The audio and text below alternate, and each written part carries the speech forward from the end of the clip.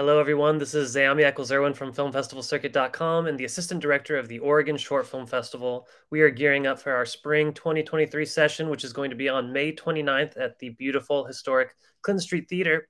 And today I'm talking to a participating filmmaker, Frank Woodward, uh, who is the director of What Does It Eat? Frank, thank you so much for meeting with me. Thanks for having me on. This is great. So tell us, what, uh, just, you know, loosely, what is What Does It Eat about? Well, what does it eat is uh, is a micro short, and it's really about a daughter who receives a present for her her mother that is extremely perplexing, and I will leave it at that. That's pretty Perfect. much what.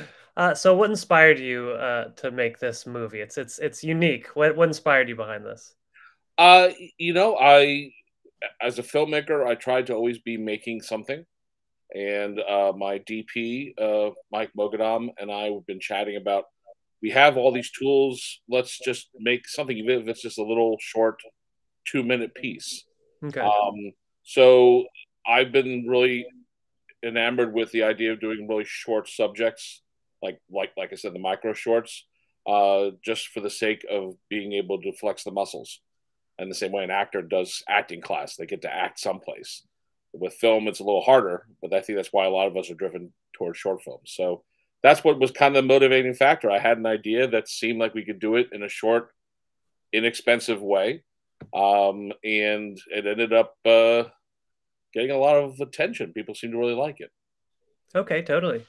Well it is uh, it's it's nice. This is a micro short that i feel uh, operates in in kind of a weird like a, almost like a, a poetic vein. This is like a little two sentence thing but it, it's it's it's got an interesting pace. It's got an interesting feel. Do you want to talk at all about uh, how you got that idea, or maybe anything about uh, the costuming for for for the perplexing character?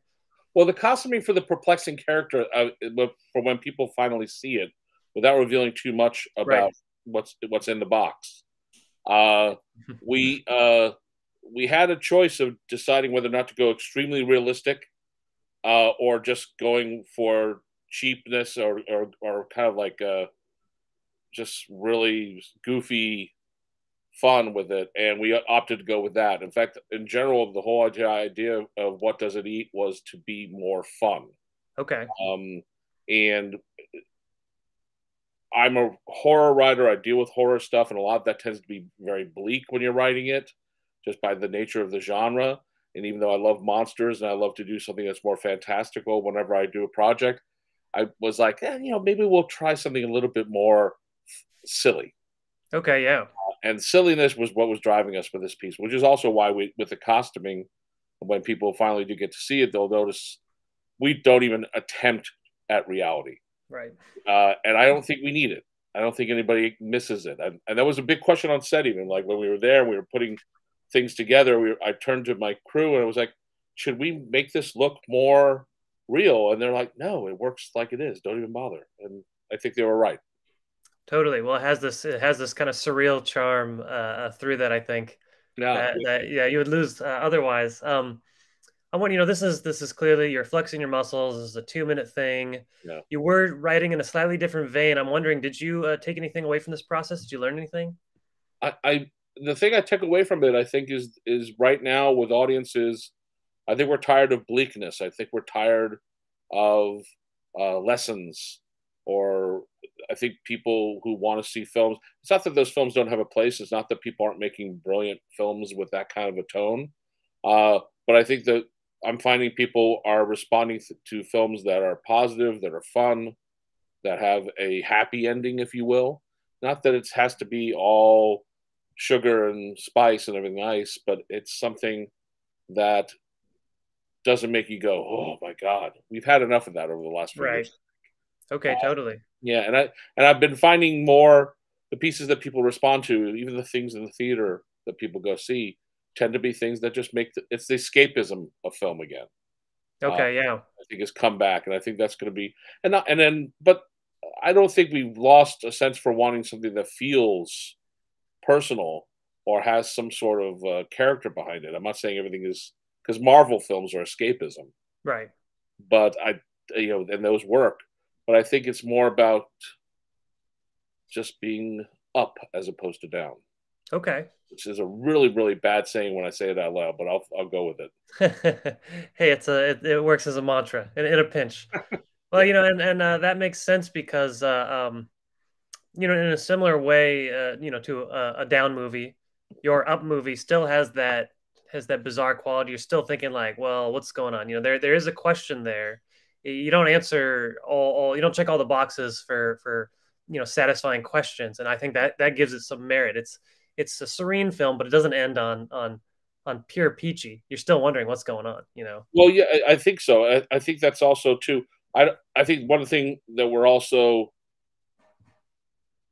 we don't we're, we're, as audiences i think we want to be able to figure some things out for ourselves we like to participate in the story okay yeah It doesn't mean that as a writer you should have gaping holes in your logic or your plot but um, i think it was billy wilder who said that if you uh, if you could tell the audience i'm, I'm paraphrasing horribly tell the audience that two plus two equals four but if you let them figure it out for themselves they'll love you forever Right. and uh, really badly paraphrasing Billy Wilder there, so forgive me, folks. But that I think that's true. I think there's a lot. There's an audience participation that we all used to do, whether it be suspension of disbelief. Um, I mean, case in point, a Godzilla movie where the suits are definitely not believable. Right. People love Godzilla films because we showed up and we were like, you know what? I know that's rubber, but I'm going with it. Totally. And it makes you part of the process. And I think audiences enjoy that a lot more.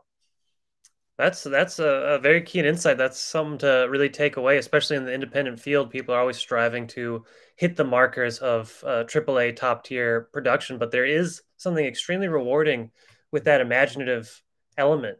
You know, we're kind of kids again. We suspend our disbelief. We're now participating. We're now playing the game, and it's it's quite fun.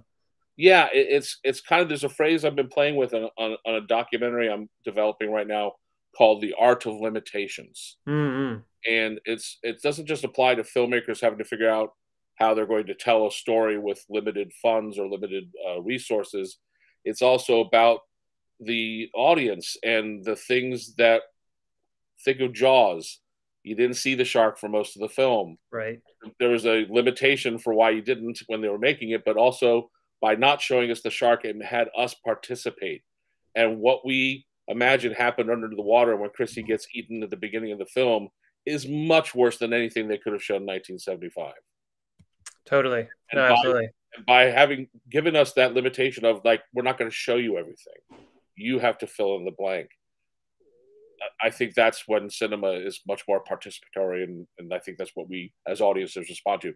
Now things are kind of done all for us. The the downside of CGI is it just does all the imagining for us, right. all the reality for us. We don't have to see through the wires or see through the blue screen. We just we get it in hyper realism, so we don't have to mentally do any work. Totally. So I think that that's something that people. I think that's also why like like younger generations, younger than myself. I'm an old fart, but um, they really respect the films of the '80s, which were still working with practical. Right. Absolutely. You know, and and you, they had to shoot them a certain way, and, it, and there was a certain thing they had stuff they had to hide, but that made it feel more real. Right. There's a different pace, a different cadence to when you have to uh, obscure certain details, certain elements, and I think it's it's really pleasing. People are getting back into it. Uh, you are, of course, are making uh, stuff in that vein. I'm curious. You mentioned a, a, documentary. Do you want to expand on any other stuff you're working on? Yeah, I, am There's two different documentaries I'm working on. One of them uh, is a lot further out before we start filming on it which is called The Art of Limitations, which we just talked about a little bit. That's kind of the thrust of that documentary, which okay. is very dear to my heart as a filmmaker, because I think we are at our best when we have to figure out a way to creatively tell a story, uh, as opposed to having all the money and all the tools at our fingertips. Totally. Um, but the other documentary I'm working on is a is entirely different, I think, in that from from Art of Limitations. I'm doing a documentary about uh, Disney legend and Imagineer Bob Gurr. Bob is a 91 year old man who was is the last surviving Imagineer who built Disneyland alongside Walt Disney. Oh wow! I'm doing a documentary about this man who's 91 years old. He's still going around the world having fun, discovering things, and and loving life. And his his career and where he came from is rooted in that kind of exploration of himself and of the world around him, and I think it's going to be very uh, inspirational for people to see him living part of his life. We get to witness that within a week of his life. Awesome. These sound fascinating. Yeah. Are, you planning on these uh, as a feature length or, or half hour? Yeah, uh, they're both going to be feature length. I've done a couple documentaries uh, before there's one on H.P. Lovecraft and one another one called Men in Suits about like the Godzilla actors that we're talking about. Okay.